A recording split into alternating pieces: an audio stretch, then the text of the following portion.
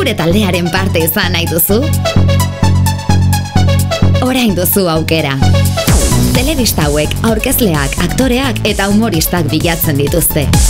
Iru dedikoitza.webtalde.conen sartu eta izen eman.